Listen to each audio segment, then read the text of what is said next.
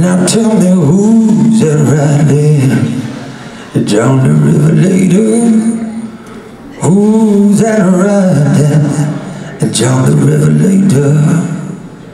Who's that riding down the river later? He wrote the book of the seven seals, you see. Gotta walk down and cool up the day called Adam by his name. He refused to answer, cause he was naked and ashamed. Oh, who's that right John the Revelator?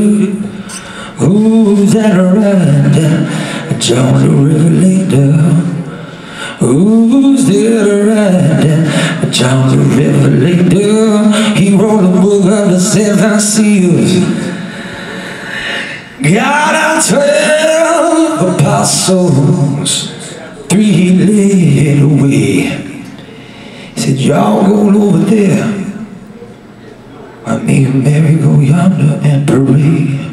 Oh, who's that riding? A John the Revelator.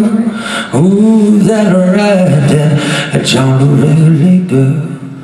Who's there riding? John the Revelator.